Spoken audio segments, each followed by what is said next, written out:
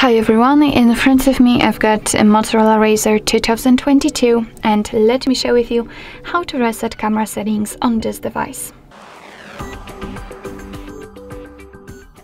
So first of all, let's open the camera up and I hope that you can see not only those grid lines which I've uh, applied before I've started the recording, but also the leveler.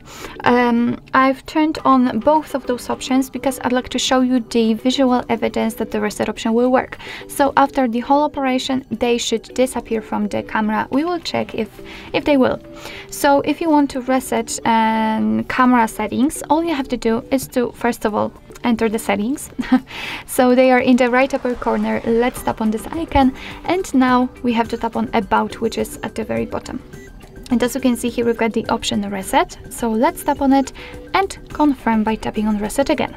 And as you can see we just got back to the settings and almost nothing happened, but let's go back to the camera and check and as you can see um, we cannot see the um, the grid lines nor the leveler, which simply means that we just successfully reset all camera settings. So basically that's all. This is how to reset camera preferences in your Motorola Razr 2022.